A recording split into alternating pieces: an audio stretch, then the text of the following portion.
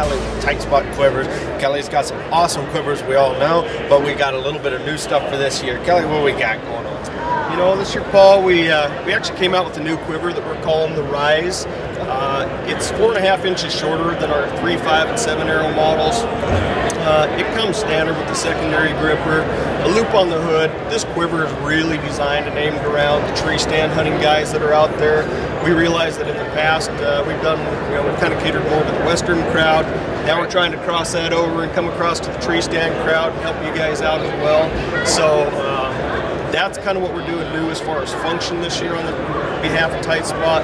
We got some new colors up here that we'll see here in just a minute up on the display. Um, and all that's available in this as well. Yeah, absolutely. Uh, we do have less colors available on the Rise until right. we kind of see what everybody's wanting to do this right. year. But we're starting out with six colors. We've got it in black, uh, subalpine, elevate 2. Uh, we're doing it in a few of the other new colors available. Okay. A couple things that gets, catches my attention, like you said, is shorter. But tell me a little bit about the difference of this that makes it more applicable to the tree stand hunter. You know, honestly, just length overall. Uh, for years, we've had guys that said we like your quiver, but we want to see something that's a little bit shorter. We don't need it to be so long uh, to create stability on the bow if we're in the tree. Right, and then you also have the hook on top for the tree stand guy correct. as well. That's correct. Now, uh, I've got something pretty cool in my hand as well, and this is. Uh, tell me a little bit about this and how it mounts on there. So this is a tree stand bracket that we came up with a couple of years ago. Just a simple bracket. It's got a screw in the back, pops out, clips onto the quiver. Can be shot that way, mounted that way. It doesn't ever have to leave your bow. Right. So guy doesn't leave it in his backpack, in the truck, in his pocket, you know, wherever. As far as mounting goes, it literally just screws into the tree and then clips onto the carbon rods of the quiver. It's a quick on, quick off kind of a process. That way a guy's got a firm hold. When you're sitting in your stand, if you want your arrows mounted down next to you, above you, wherever it's handy, you can situate them exactly where you want them to be. If you need to grab for another yeah, arrow, for you don't have a dangling quiver. It's not wanting to fall to the ground. That thing is solid and sitting in place. You grab an arrow, nock it up, and let's roll. That's pretty cool. Well, it's a definitely a good-looking quiver, uh, compact and everything. You added.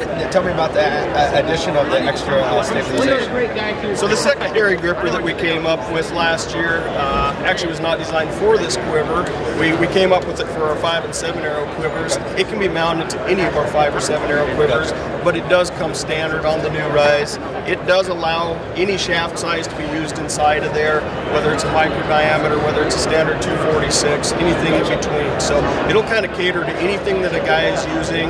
It works very well for the guys that are using uh, expandable broadhead. Right especially something with a very small tip uh, up inside the hood of the quiver.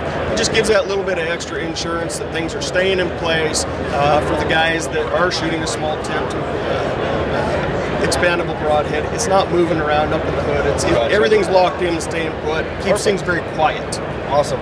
Well, what kind of uh, what kind of price and what kind of time frame are we looking at? So as far as the rise, it's shipping now.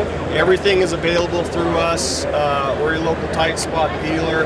Price wise, these are mapped out at 154.95, okay. and so uh, we we've already seen a pretty good number of these go out the door. Guys are using them, and we're getting really good feedback on awesome. them. So awesome, perfect. So if somebody wants to check these uh, new tight spot quivers out and the ones that you've had for years, uh, where's somebody going to look at? Go check out your local tight spot dealer. Tell your dealer he needs to have them available, or come check us out at tightspotquiver.com. Give us a call on the phone. Joe and I'd be happy to talk to anybody about it, tell them what they need to know, help them out in any way that we can, even if that's directing you to a dealer. We're happy to do that. All right, thank you, Kelly. I appreciate it. Yeah, you bet. Thanks.